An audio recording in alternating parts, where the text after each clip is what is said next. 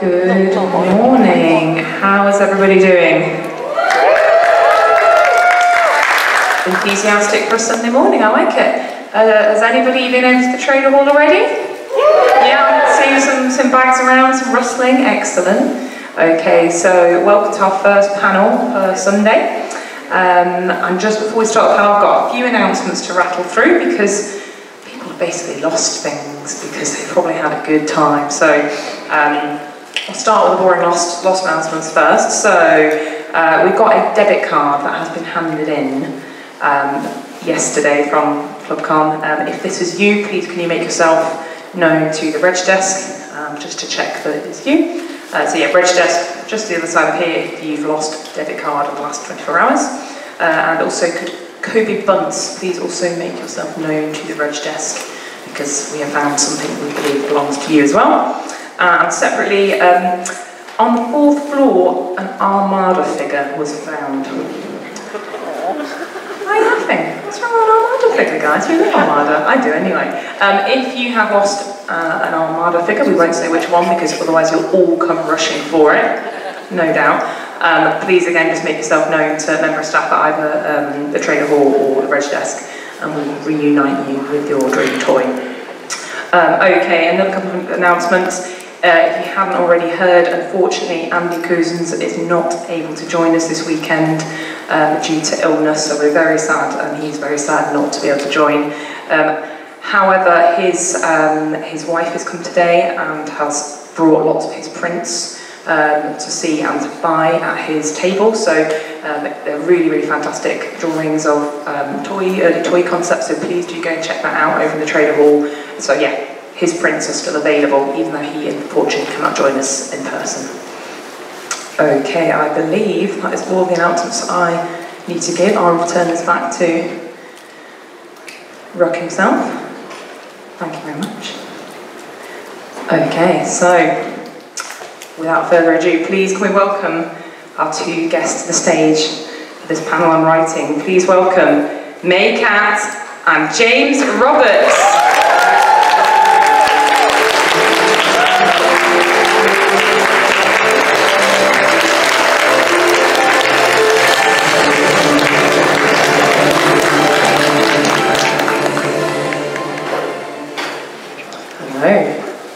Switch because I'm so short and small. Yeah, you're like the power. You're like the. All right, much better. There we go. Got the man in the middle. There aren't that many men involved in Transformers, so it's nice to you know showcase them. And Such aggression. It's not aggression. Why is aggression? Why is it perceived as aggression, James? Well, it's so much irony then. Oh, I, irony. How are we both doing? Yeah, good morning. Yeah. it is morning. it is certainly 11 a.m. It really, really is. to me, it's like 6, 7 a.m. Yeah, it's fine. That's rough. It's fine. Okay. It's fine. It's fine. We really appreciate you coming down for the first panel of the day. I'm sorry. okay, This is your second panel of the event. Yes. Yeah. So you're seasoned. It's true. Yeah. So, show of hands, who was at the panel yesterday with Mae Catt? Yeah, okay, a lot of, yeah, awesome, thank you. Amazing. So obviously we're going to hear more from Mae today uh, and from James. We, we mentioned James in the panel actually, didn't we? Yeah, of course. I steal all my best stuff. okay, so we'll start off, because this is a panel on, on writing, um, and we'll start with you, Mae. Um, could you tell us how you got into writing? Oh, sure. Um, sorry for people who are going to hear this repeated story, but I got started writing about when I was 13, I started writing like non-stop Matrix fan fiction. Um, that's all I did was like do homework, sleep, and write fan fiction. So those are my weird proving grounds. And then uh, I was 14 and someone got me Final Draft, which is screenwriting software. And I grew up in Los Angeles, so it was sort of a given that I would like somehow work in Hollywood. Uh, and then I wrote a 135 page screenplay that was terrible. I was 14, but it's mine. And I've been, I haven't really been stopping ever since. Wow. And how, off the back of that, how did you make your breakthrough from you know, writing screenplays as a 14 year old and fan fiction through to yeah, so professional work? Th this is hard because like this is how I became a professional and it's completely unreplicatable, but I won a high school screenwriting contest when I was like 14, 15. And part of the prize was meeting industry professionals, including a cat named Greg Weisman, who has made Gargoyles and Young Justice and Spectacular Spider-Man. And so, like, literally a decade later, I ended up in a meeting with him again. And the meeting was, in my head, I was just gonna be like, look, Greg, I'm still alive and I still wanna do this. Um, and he offered me a script on Young Justice, and that was my first professional script that I ever got. Um, and when I got the Cyberverse job, I couldn't give them the Young Justice script as a sample, but it was like the fact that I had done it was enough for them to be like, yeah, we'll take a chance on this person. Wow, that's awesome. Imagine having your first job on Young Justice. That's Yeah, dude. Pretty it's wild. amazing. Okay, James, same question. How did you get into writing? Um, well, there's a bit of an overlap actually in the fanfic origin. Not Matrix though. I, I, I was writing Transformers fanfic when Matrix came out. Um, yeah. Um, yeah, so I, this, I suppose my fanfic journey began um, when G1 was seemed to be dead forever, so in the early 90s. And, um, and apologies again if you've heard this origin story before, but yeah, there was there was a group of us um, in the UK mainly, uh, of fans that would collab. We'd, we'd write our own, but it would be collaborative in the sense that um, unusually in those days in the fanfic world, you know, you had to have regard to what other people were writing, so it was a shared universe that you write, you were writing your fanfic within, and that was useful. Um, so did that, and that kind of, in, in terms of scale and ambition, maybe not in quality, but it, it grew to this to Eugenesis, which was a book length thing, um, which I sort of sold at not, not this con, but an early Well, why not? You should, mention. Yeah, should it get was- hold of some 20, 22 years ago. So, um, yeah, and then and then that was kind of it really. I- And I, I uh, this was all prose stuff, uh, not comic stuff. Didn't really have designs to do comics. Did kind of want to be a novelist, um, so did some sort of other non-Transformers unpublished stuff, uh, and then skip forward a few years. And there was an opportunity with IDW, which brought me into the comics, and and it went from there. Had you not written a comic book beforehand? Only I'd done I'd done a, literally two or three fanfic comics, um, and then Last Stand of the Wreckers was the first. Damn, dude. That's Talent like, here, That's like your first professional script being Young Justice. You're just like, oh. yeah, it was, uh, yeah, but it, but it was it was uh, I was think I was talking to Nick about this the other day, and it was. Um, I mean, thankfully there is there is a, a, a lead-in time between submission and publication, and so there was time to fix and correct and stuff. So my very first attempt was different to uh, to what we ended up with.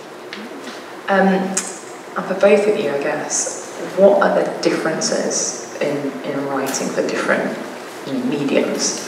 I can only assume you're writing, writing prose where you have full control of everything versus for a comic where there's a limited number of panels, limited number of characters, you know, the artists might say, excuse me, why is there 50 characters in every single panel? And then obviously similarly for, for, um, for shows, Sure, I've uh, started flirting with writing for comics, um, and I've been given opportunities that luckily play to my strengths because comic book writing, as I have been learning, is very much like you have to somewhat dictate what's on the page. And this is, you know, my weakness as a writer. When I'm writing scenes, I really don't see the space. I just see like faces emoting and I hear the dialogue, but I'm not really concerned with what does the set look like that's going to be designed and drawn by other people or, you know, there's a production designer. So switching into comic books where they're like, no, you have to tell the artist what to draw and to keep in mind that the story is now like 22 pages and that the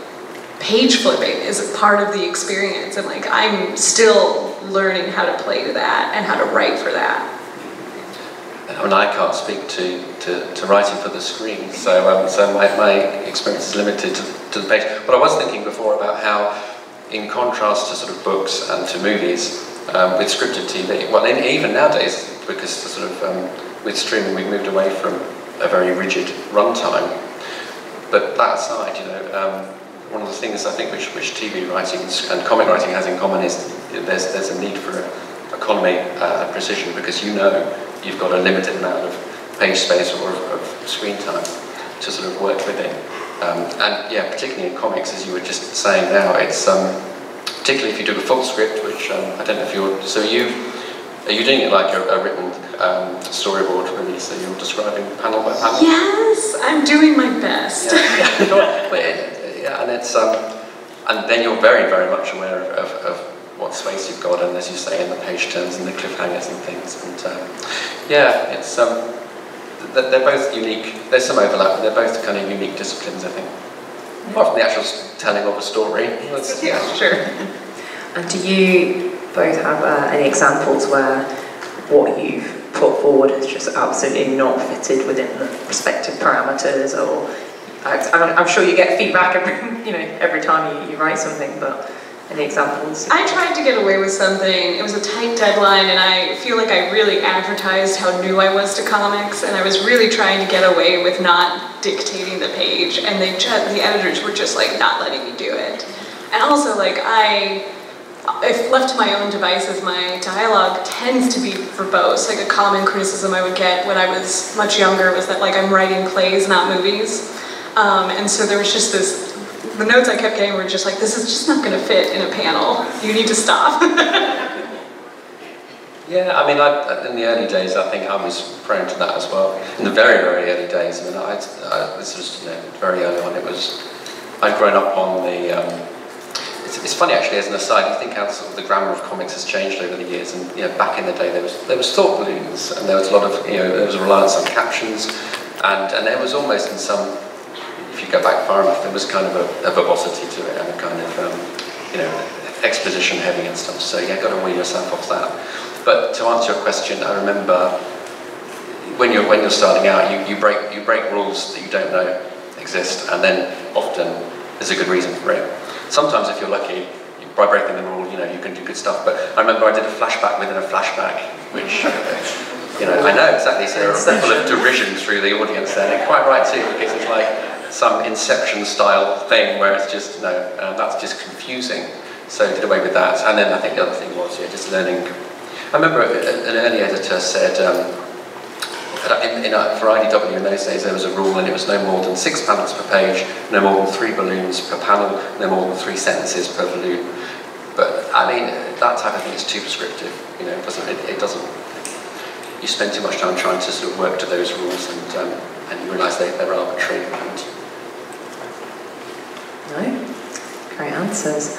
Um, it's nice when you, get great answers. Yeah, great answers. It's good to get feedback, direct feedback. Yeah, so when, when, we, when we don't hear that, in, you'll be like, not the answer we were looking for. um, can you tell us, I know we touched on this a little bit yesterday, uh, Mae, writing within a world where so, many, so much of the assets are already defined, um, and you know, pre-existing characters with you know, their lore, their history, their previous versions. How do you um, deal with that? And then how do you put your own spin on it? Sure, sure. I was, um, when I was kind of thrown into the Cyberverse Writers Room, I came in season two, so the train was kind of already in motion. And there was a lot of a learning curve. I was writing 11 minute episodes and all this stuff. Um, but what I kind of quickly realized in that environment was like, oh, I it's very difficult for an IP that is 40 years old to come up with something that is wholly original.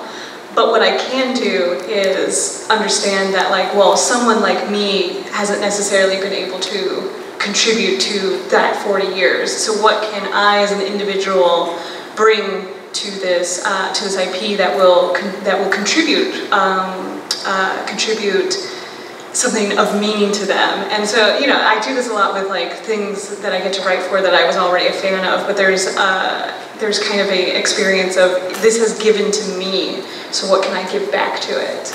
Um, and once I kind of figured that out, I was like, this is how I write for IPs. This is how I'm going to survive this IP-driven world.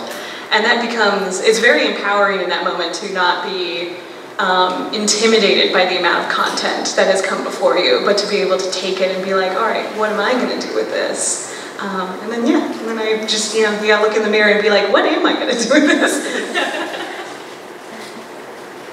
and James, same question. Same question. Um, I think it was a case of uh, being a fan for so long. Um, well, being a fan and then kind of just doing other things and then coming back to it. And for so long it was like, you know, you're pressing your face against the glass, you know, and there's, there's this sort of content, horrible word actually. You know, so, so stories um, and, and stuff comes down from on high. You, you know, you're not you're not privy to, to who makes those decisions. You know, you maybe you've met the creators, but you know, it just it arrives and you, and you enjoy it and you consume it or you don't. Um, and then suddenly this insane opportunity to, oh, I can. So, so you know, you've taken the glass away now, so I, I can I can play with this stuff now, and I can and I can do things of my own. And you don't know how long it's going to last, but for me at least, I thought, well, I'm going to suddenly the, the distance between the ideas that I've had in my head for a long time, or new ideas, the distance between concept and execution is so, so, so short now. So let's just see what you can get away with, you know. And I think, um, I was talking to Jack about this, I think the, our kind of, um, our era, the IDW era, um, it recedes into the past, and, it, and, and, as it does so, you kind of, get different perspective on it. Um, and it, I may be wrong, but it, it might be equally that we had um, a lot of freedom. We, we knew at the time we had freedom, but I think perhaps maybe we didn't appreciate the extent to which we were generally allowed to sort of try things out and test things out, and, and we were really lucky. Yeah. Did you, did you find being a fan for so long was something that empowered you or something that was like intimidated you when you finally got the opportunity? Um, I, I, felt I felt maybe arrogant. I felt empowered. I thought, yeah, I, think this good stuff. You're like, but, oh, I got this. but, but what I did, but there's a downside to that. And I thought, I, I think particularly early on, um, there was there was some in jokes and there were some references and things, and, and I was, I, what audience am I am I kind of playing to really? Um, I'm sort of maybe I'm, you know, a, a, little nod, a little Easter egg here and there is, is good fun, but you can't build a story around it. Um, and it was quite healthy to wean myself off that um, and not, I'm not, I'm, I'm not sort of, um, I'm not implying anything, I'm not particularly referencing anybody in particular, just generally um, doing your own thing, being less reliant on stuff that's gone before, um, and recognising that there's kind of diminishing returns if you're always kind of nodding to other stuff, so that, that was a necessary lesson. Nice. Um, I guess off the back of that, um, how um, Mae in Earthspark, there's obviously lots of referencing, and you know that first, you know, first opening pilot of um, you know G, you know G1, um, you know when when you get the brief history. I certainly wasn't referring to that. Yeah, no, no, no, no, no, no. As in like. wow, what are you trying to stir? I'm not trying to stir anything up. Um, but you know, was, was it? Sorry, it's an TF, It's fine. Yeah. like, was that was that your you know your idea, or was that given to you that we want to almost directly well, pull right from the, the I original? Came in, um, about we were finishing up episode eight when I came in, ah, so I got to enjoy the fact that we're going to have a G1 reference in that way yeah. live with everybody else. Yeah. Like I saw the storyboards and I was like, cool. Yeah. And everybody was like, yeah, we're going to make it look like G1. I'm like, what? Yeah. it's awesome.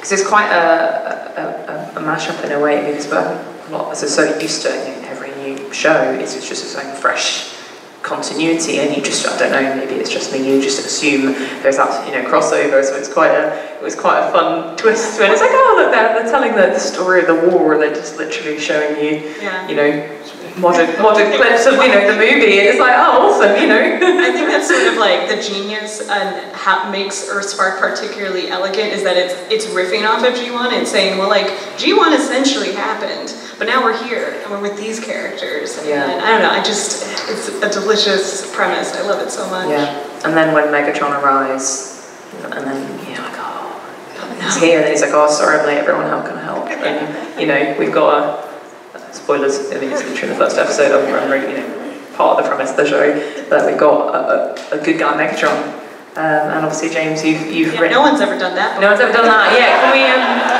so yeah, can we? Can we? Moving smoothly on. Can we talk about both of your interpretations of Megatron and how you've written him? Oh sure. I I'll say like I think what's interesting my journey on Transformers is on Cyberverse. I was very new to the lore and and just Transformers in general. And then by the time I get to Earthspark, suddenly I'm the expert because, and it kind of plays to the strength like our show creator, Dale Malinowski, is like kind of new to Transformers. So when I saw that there was a good guy Megatron, I was like, oh shit, have you read these things? And he was like, no, I just thought it was a good idea. And I was like, oh, we should read those.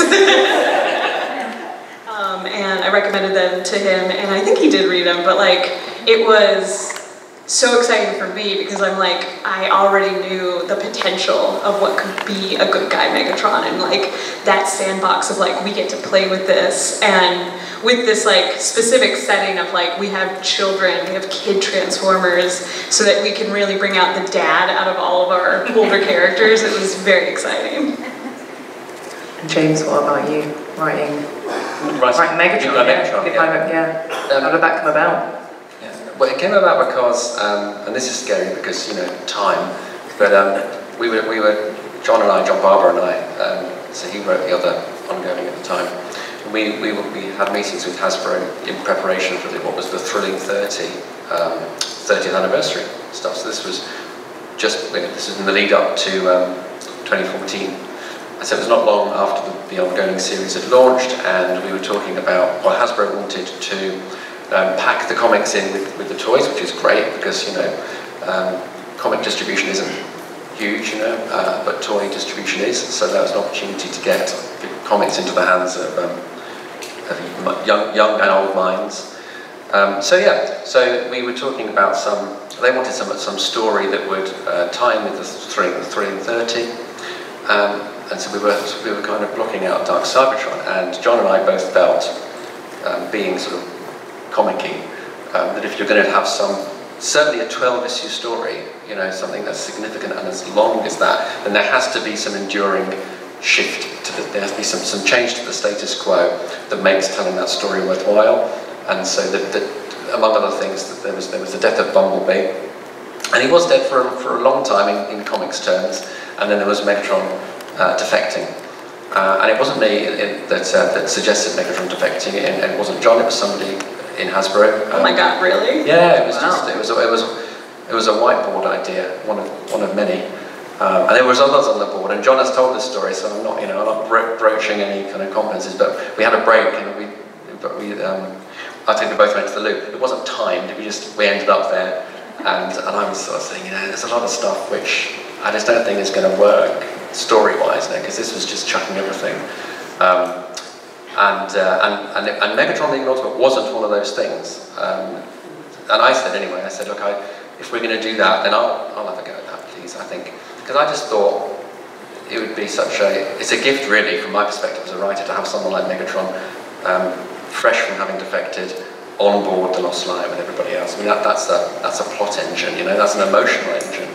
Um, and um, although I'd mapped out most of the season two stories already, um, the introduction of Megatron changed them all for the better uh, in one way or another. So whether it was the uh, the, uh, the, the impending threat of the D- DJD or um, just how Megatron's unique sort of response to the war, being the instigator, worked alongside the, the different crew members get, getting used to post-war life. So yeah, so it was it was just it was two. Having said all of that, when I when, when the, the weekend was over and I was back to the hotel room and I was getting ready to fly home, and I thought I don't know how on earth I can make that work. I mean, even allowing for kind of comic book logic, you know, the sort of Magneto style things where there's all these anti-heroes and, you know, one, one month they'll defect and stuff like that. But that's, even given the, slack that you're allowed within comic book sort of tropes, that is a big challenge to make, um, to make Megatron's art work. And so it took two and a half years to tell that story. Oh, well, I think you did a good job, so. um, you mentioned there of uh, lots of ideas that were just thrown up on the whiteboard, whether that came from Hasbro or, you know, the sort of creative team on the ground. Um, can you give us any examples, silly or otherwise, from uh, things that could have been from your respective areas? Sorry, there's a I've already big got the whiteboard, hang on. Well, this, this sounds like you've set me up to plug the More Than Meets the Eye notebooks, which are available at my table.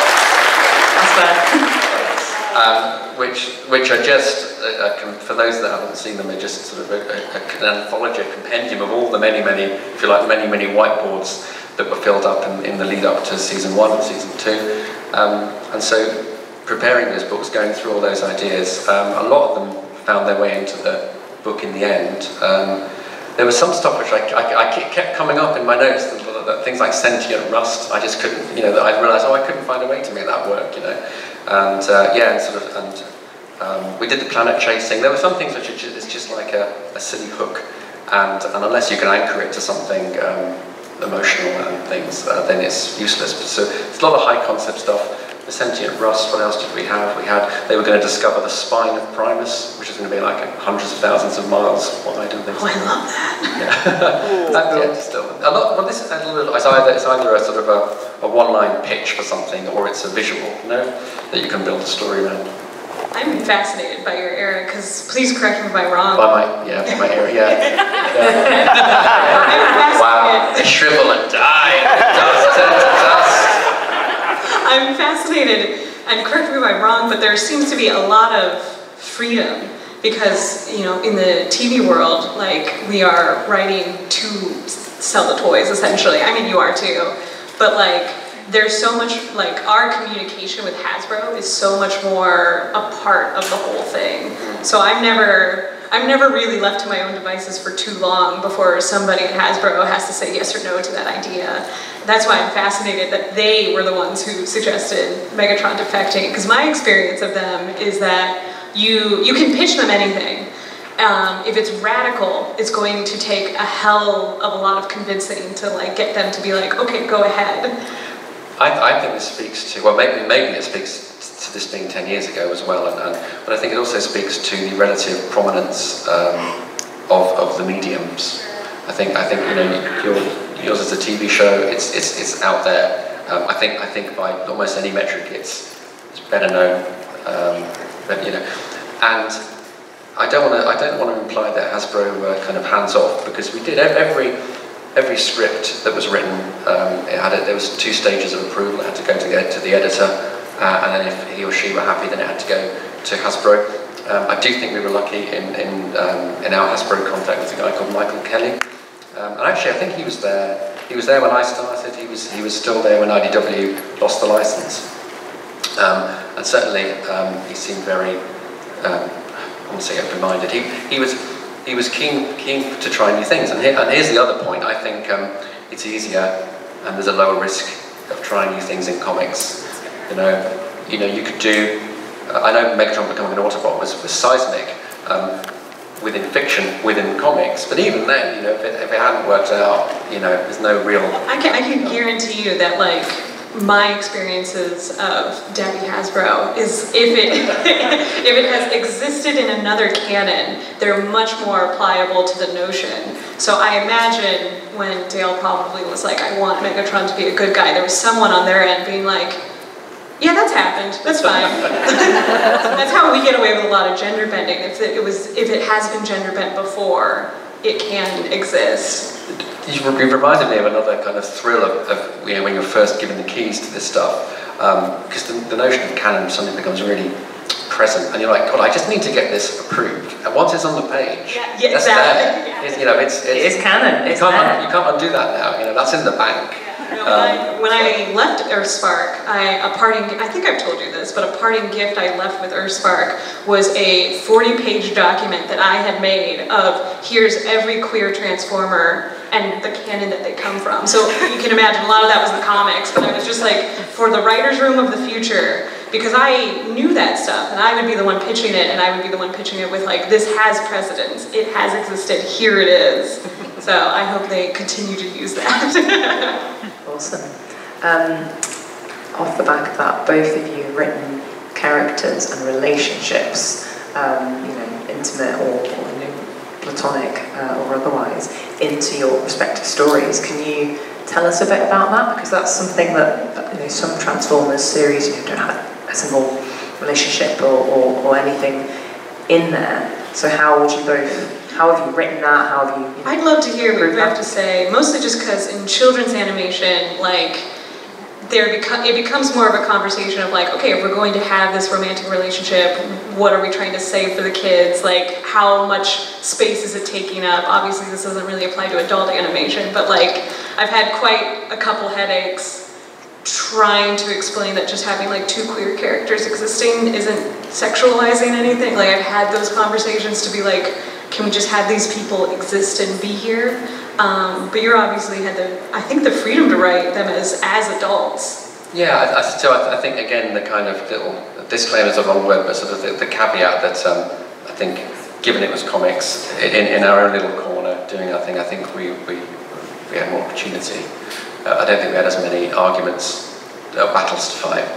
Um, but I mean, it's um, you know, I, I, this isn't this isn't revelatory, and it's not. It's um, it sounds okay, but another way. It sounds really straightforward and obvious to me that if you're going to write about characters, then you want to explore their interactions, their dynamics, you know, their, uh, you know, their rivalries and their loves and so on. Um, and obviously, I was always intended as you know, to be a, I've said it before, like a character-driven piece. Um, I've also said before that if the whole franchise is predicated on conflict and, and war, um, so you allow for that, you know, all the emotions to do with that, then just logically, you know, the, the other side, the good side, is there as well. Um, and that can, that could and should extend to romantic love as well. And, and um, you know, the, the instruction, which really helped us actually early on um, from Hasbro, was, you know, humanize them. And you think, okay, well, oh, I'll humanize them. Are you aware of our fanfic background? Fanfic background? I'm going to humanize My fanfic background is really quite dry. I, don't know if it, my, my fanfic stuff wasn't that grounded in. Um, it was. Um, I'm so sorry. Yeah, no, no, go on, no, go on. No, no, talk about more. Your, more. Talk about more. About talk about more my fanfic. Yeah, yeah. So few people say that to me in life. So. no, it was. It was. Um, I mean, I was younger and I was coming off the G1, albeit you know TF UK, Transformers UK, which was more you know, character driven, but it was still very you know there was there was sort of um, it was quite humorless, it was quite plotty, quite concept driven, um, and I discovered the joys of uh, writing about people. um, yeah, I'm I'm a little chagrined just because like you got the prerogative of like humanize them. That I've had the opposite where like not necessarily that they are resistant to the idea of making them fully dimensional characters, but that specific word of humanizing them has sometimes interrupted the thought process of the people I talk to at Hasbro, because I've, like, we've literally gotten them to be like, they're not humans though. It's fascinating. yeah, well this is, I mean, and uh, like maybe, maybe it's cyclical, who knows what the next iteration will sure. be about, but um, but I think the way the world is these days, with more, you know, everything, it's always, you know, it's been IP driven for a long time, but now it's all, you know, everything's got to interconnect. There's, there's all these synthesis, you know, and, and stuff, and, and Bibles and things, and a lot more. There's a drive in, often to um, to have sort of one true canon and stuff like that, yeah. which I think is a hindrance to. I mean, we've, we've done pretty well for 40 years with a multiplicity of, um, of iterations, uh, and that has given scope to try things out and, and, to, and to make mistakes and you know but but then the um, I think the stuff which keeps a lot of us coming back is the is the little the, the wobbles um, or the little, the little gaps that are left sometimes unintentionally which other people can find and fill in um, so let's hope it's not the end of that. No, I'm sure it's not. It's just I'm chagrined at our different experiences with the same company. Then we used to get notes back which said, turn up the gate of 15 and you were like, are you sure 15? yeah, we've done 13, but they said, no, turn the dial, turning a big dial marked gay and looking back. yeah, there was... don't, don't let me lure you into saying something. no, no, no, I, uh, I am like, how do I say this? Um, I would get notes back where I was just like, I don't think they know what they're asking for. I don't think they understand that with this note I'm gonna make it gayer. I don't think they know that, um, but here I go. Amazing. Um, if you could write again on Transformers, if there's a, a new project, um, what medium would you like to do and what would you do with it if you had the freedom, if you could? I'd love to write one of the movies, one of the live yeah? action movies. Oh yeah. Oh, yeah. And what? Woo! That petition Daddy Hasbro in your own words. Um, what, what would you do with it? What's your, what would be your first idea? this is how I know I'm a true screenwriter. I'm like, no, no, no. Whatever it is they want me to write, I would make it good. like, like, obviously, like I would love to. I would love for it to be like, ooh. Ooh. There's a piece of me that would love to take the animated movie characters because they are the most foreign to me Um, even though Rodimus features heavily in your work, like I look at the animated movie and I'm always like, that's that was I missed the boat on this. I can enjoy it as as an adult, but like there's something about it that I'm like I know people have a nostalgia for it that I don't have. And there, as a screenwriter, I'm like that would be a fun challenge to be like, no, fall in love with this and, and write it good. nice. And James, what about you? Um, well, I think I, because I kind of I did a lot of comics, so it would be good to do yeah um, yeah TV. Um, maybe not having spoken to you now. But, no, I mean, it'd be, oh, I don't know, I don't know. There's, a, there's always a lot of chatter, isn't there, about, oh, you know, more than meets the eye adaptation and things like that, and um, it, wouldn't it wouldn't adapt, wouldn't adapt neatly onto the screen, but there, there is, there's, there's some structural stuff that does carry over quite neatly. I think the biggest obstacle to that um, is, you know, the eye bounced off uh, a big event, which was the end of the war. And for a long time I thought, okay, well, you know, you couldn't, it'd be difficult to sell that to new audiences. But I guess maybe one, perhaps one upside of, of how things have gone over the years, and you mentioned sort of riffing, there is kind of more cross-pollination, the, the, audiences are, um, I think, well, I think audience, audiences are underestimated anyway in terms of you know, what they what they can quickly pick up and what they can infer and stuff. So I don't maybe think it's as big an obstacle as it used to be pitching a new TV, a Transformers TV show, because because Transformers is so permeated everything so much. If you pitched a show or you or you tried to sell to the audience a show which said, okay, well, we're starting with the end of this war, I think actually general audiences would be more open to that idea than maybe 10, 20 years ago. So yeah. yeah. Have you written any screenplays before? I, uh, well, yeah, yes, in a um, in an amateur sense. Because so when I um, so I'd done my fanfic years were done, and then I then I did some amateur filmmaking with them, a couple of friends. I did not know that. Yeah, I know. Um, we did three, three. Oh, but see, I don't want. On. I'm trying to think, are they available to out, out there? Because I hope not. um, but yeah, from from sort of from '98 to 2003 or something, did did, um, did two two shorts and. Um, and, and, a, and a longer longer form piece, but uh, and it was it was difficult, um, but, yeah, it, but, but good fun. sucks. Yeah, yeah. Um, a little. It was. I mean, it was difficult. We, we had control over it. We, I, I did the screenplay. We and we. I directed it. I co-directed it with someone else. Didn't star in it, but um, yeah. So I enjoyed that. Um, so yeah, there was it was always this kind of tension, but I didn't really didn't really think about comics as an as a possibility. Was was like the idea of making films, like the idea of writing prose, um, and I didn't. When when more than see more than meets the eye when it was when it was you know, flying high. Um, and I think Nick has said this before and Jack, but we didn't really we didn't really have conversations with with other comics companies. It wasn't as if anybody was sort of hammering on the door and saying, "Do you want to try this out?" But but I did have a couple of conversations with production companies about it. They did it did come to me actually unusually and said, "Oh, do you want to talk about pitching a TV TV show and stuff?" Oh, very cool. So um, you may know it as Succession, but I um, said to Jesse, I said, look, I've got a great idea for a show. And he said, yeah, yeah.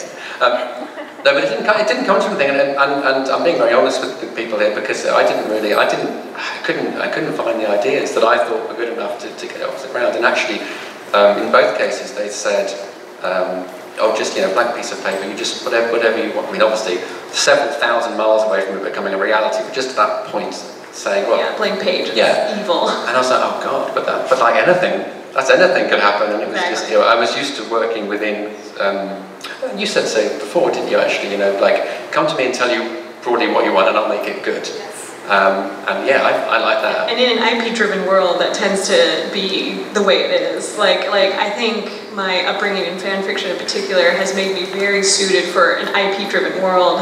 Um, like I have a spec script that, uh, spec script being like a script that is an original idea that I'm writing on my own, kind of as an advertisement, like my reps are gonna take it out eventually to be like, look what Mae can do. Um, and I've been meaning to write this thing for like six months. I haven't even gotten page one down, but I've been doing other work. um, but I wanted to ask, like, what was your experience of like a long form screenplay versus like comics, uh, ongoing comics? Because like I can imagine the argument being that ongoing comics are just like the longest form of a screenplay. Yeah, that's a good. I feel bad now, you're asking me lots of good questions. I'm, I'm a fan. oh, God, God, that's even worse. That's even, well, likewise. Thank you. Um, but don't expect any questions, because, uh, no, uh, I th- well, weird, weirdly, um, because when I when I came when I started doing comics, it, you know, decompressed storytelling was all the rage, and so you know you'd had um, you'd have an idea and you think, well, I can stretch this over six. You'd write for the trade, you know, and you'd have one good idea and that, that's six issues. Um, but I always, again, sort of cutting cutting my teeth as a reader on the on the 80s stuff. It was always, well, I, I want a cliffhanger, and I want to, I want to, I want to have ten good ideas and squeeze it into a two-parter, and then do something else, you know. And it was very, very episodic, actually um, especially the early modern ECI stuff, the season one as it's called, um, there was kind of every couple of issues there was a different kind of different story, different theme. But when I did the very, very amateur, me emphasise, uh, screenplay, um, I just kind of I went to the, the, the, classic story arcs really, which was you know you know your, your three act structure and you know stuff like that really, and, and it was good not having to worry about um, runtime things like that. Um, if I got serious about the movie making, then um, then you know budgeting would have come into it. Which again, I'm not even going to say that actually, because Jack or any other artist will come and hit me over the head. And say, oh, it's great with comics. You can just all right, oh, write a story with a just thousand people in the audience. It's a scene with a thousand in the crowd. That's that's what writers sound like when they're talking to artists. Yeah, there is a budget and it's there. Um, yeah, time. Yeah, the energy and the yeah. You're right. happiness, the happiness, James. Yeah. Well, you know, happiness was never. And then when you the kill deal. those characters. When you work with me, happiness is out of the window. okay, I think we've got about time for about ten minutes of some questions from the audience. You actually. Oh, first of all, James. James is the first. Go on.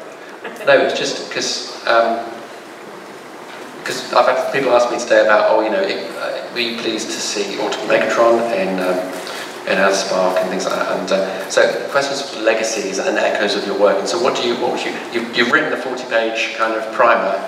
So what would you want to see carried forward? Um, not, not just in, the, in, in Earthspark, but beyond. I want Nightshade to become one of the most beloved characters of all time.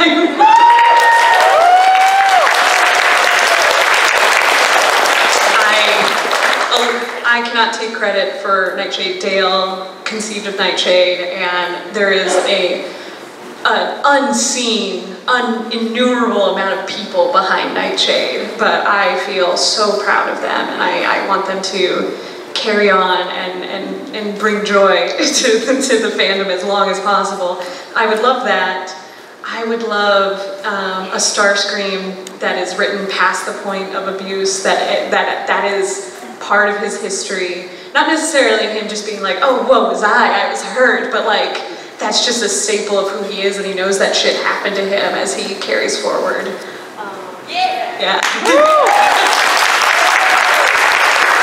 I think those would be the big, please. nice.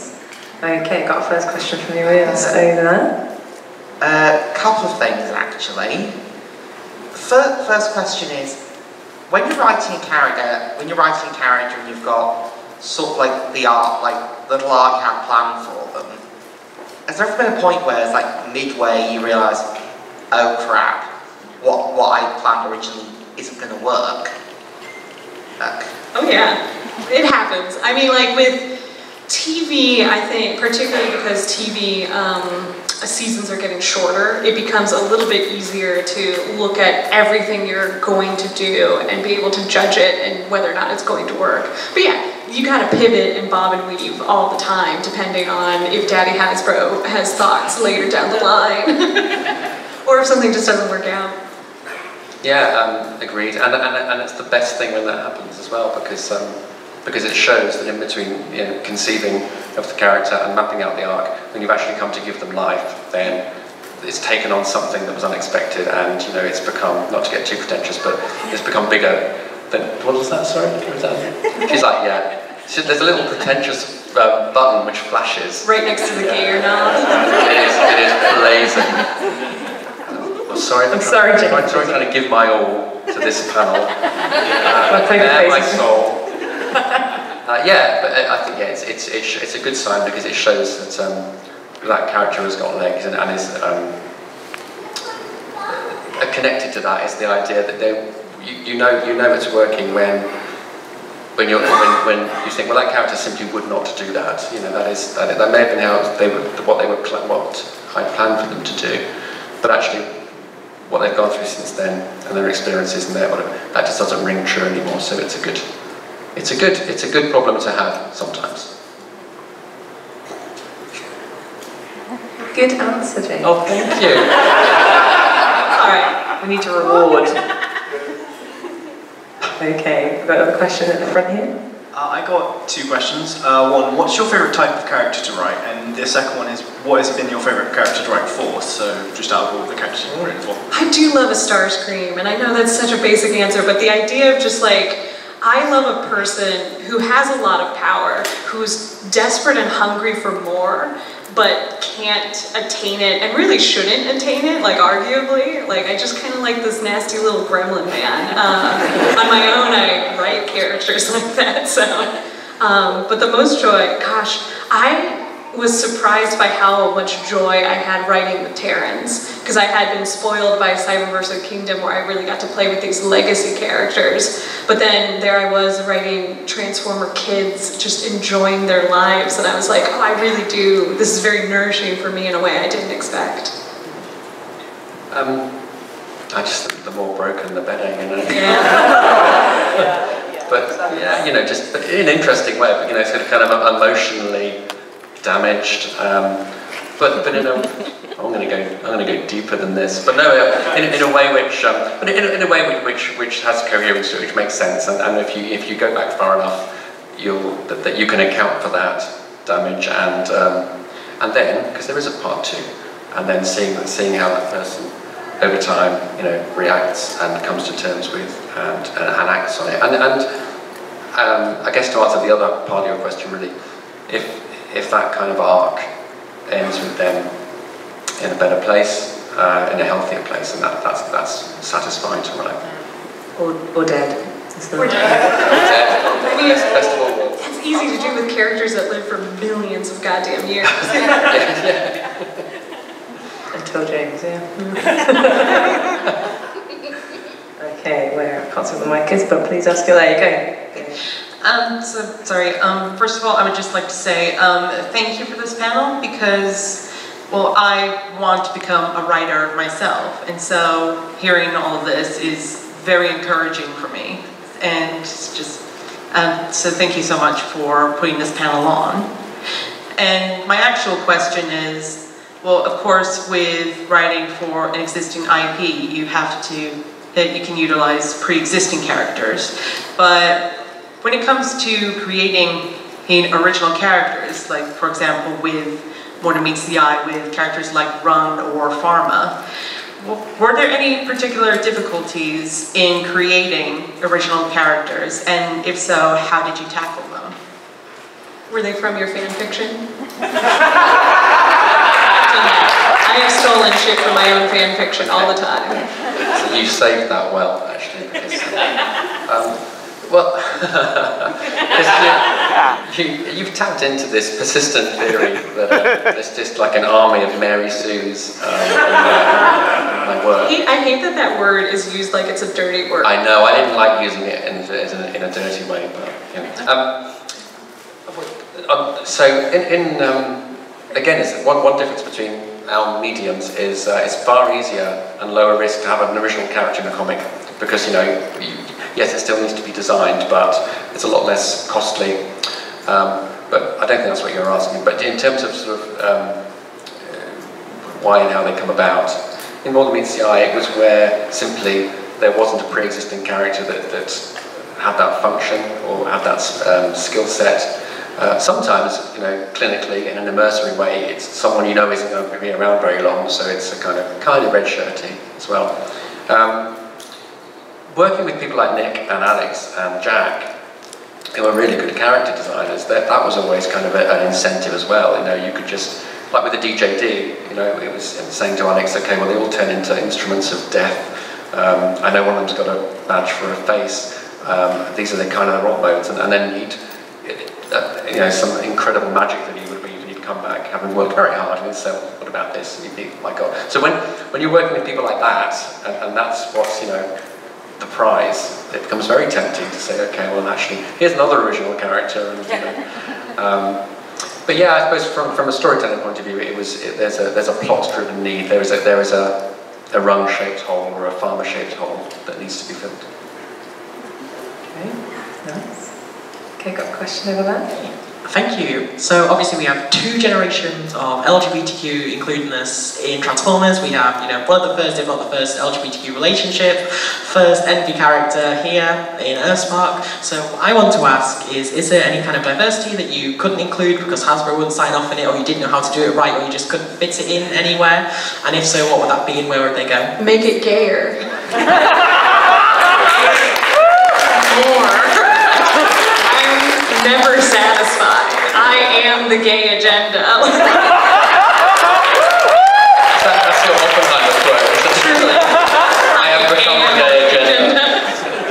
Um, I definitely, I constantly was trying to get Trans Arcee into our show because I, I think Trans Arcee and like Nightshade, I was so desperate to have Nightshade have a uh, queer elder and that was also a bot and you know that somewhat is tarantulas to a certain extent. Um, but I also really wanted to get Drift and Ratchet in there as like gay husbands, like having them already be married. Um, no, I'm constantly in the background being like, that could be gay. If you, if you wanted it to be. Oh, you don't? That's fine. I can't add anything to that. I, don't. Did you ever get pushback? Like ever on anything? they were they just were they just as, like as, a, as a cis hetero white male, no.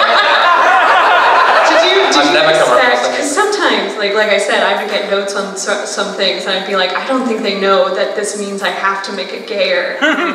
did you? I can't. I'm, what I'm imagining is a Hasbro exec like reading your stuff and being like, "Wow, they're such good friends."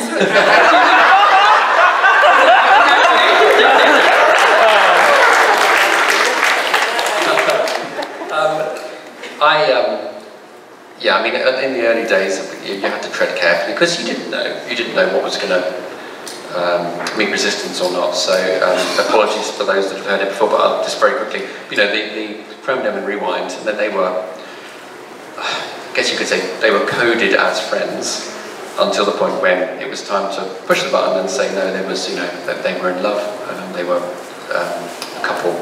And, and so, yeah, that, on that occasion, not knowing the lay of the land, I did make, it wasn't 40 pages, but I made, I made an argument appended to the script saying, this is why it's fine. And it was fine. Um, but what was incredibly useful is like never saying this to everybody here and everybody that read more than eye, um, you know, never underestimate the power of the readership, in my case, the readership being cool with it, or saying that this is good, or saying we would like more of this, please. Um, there was there was some pushback among the readers. Um, I, I, came I came across very little, but um, but the warmth of the reception and the celebration of what you're doing emboldens us as creators um, and gives gives extra license, no pun intended, but gives you extra license to try new things. And so by the time we got to Lost Light and um, you know we introduced trans characters, and, and that was not an issue. Um, no, it might be that, um, given that they're mechanical, perhaps you know it's slightly easier in some ways to sell it. Um, but but that doesn't matter because because we, we got it and it was on the page, and like we said before, that's it. That's it now. You know, you can't be undone. You can't undo what you had for breakfast, and and that stuff, you know, stuff that matters is, is there now. So. Um, it's, uh, there's precedent. Okay. okay, we have time for one last question. So we've got um, someone back there. Um, so for James, I was wondering, what was the thought process behind your interpretation of Star Saber? did it include anything about Warhammer? Because it feels very Warhammer. Yeah. Um, oh yeah. Now there's no. Yeah, well, I know. You brought up my big faux pas. Somebody uh, yesterday came up to me and said, you know, sotto voce, I was okay with Star Saber. but he had to whisper it, because he knew. Um, yeah, no, I, um, okay, so but at this point in, in, in there's a lot of the original characters had been had been used. You know, there was there wasn't many left. If you wanted a new, new character, you didn't want to create someone from from from scratch. And Star Saber is, you know, he's a great looking character. Um, you know, he's got, relatively speaking, he's got some some name recognition. Um, but I underestimated the strength of feeling around his uh, Japanese, evidently, his Japanese interpretation. Um, and I thought there was something fun, evidently, not that fun, in, in, in sort of making a virtue of flipping it around and, and having him be this kind of zealous. Um, that, that's, an, that's an, an, idea, going back to other questions, because originally in season three he was going to, there was going to be a band of kind of psychopathic pilgrims, he was going to head up a team and just go around and kill all atheists, um, which would have just compounded the issues that, that had. Um, so yeah, it was, uh, I thought um, I underestimated the attachment people had to stuff, but I wouldn't do it any differently.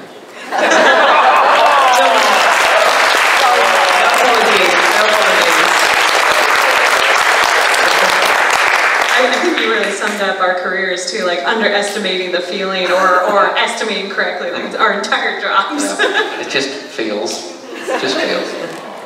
Okay, unfortunately that is all the time we have for this panel, so can we please give a big round of applause